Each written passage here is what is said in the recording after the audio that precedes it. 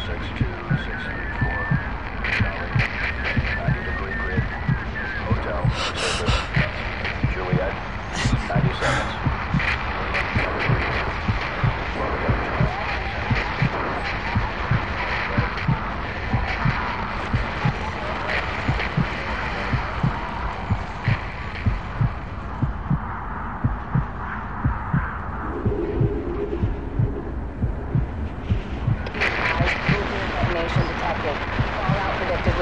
radius of 7.4 miles, epicenter located at ND058680. Personnel within Hanoi zone are ordered to commence evacuation. Contamination centers are being established at this time and will be operational within two hours.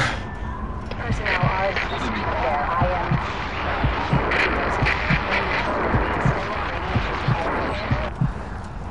personnel with hard by.